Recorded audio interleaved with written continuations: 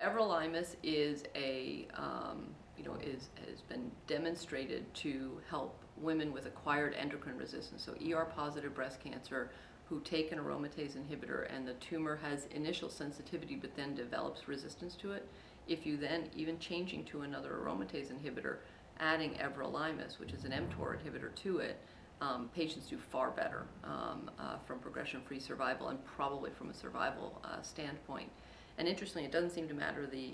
the choice of drug you add it to, as long as it's an endocrine agent, because there's a smaller study using tamoxifen that showed essentially the same thing. So everolimus and, and targeting the mTOR pathway looks like it's going to be, it, well, we know that it's a very promising arena in metastatic acquired uh, resistance to endocrine therapies.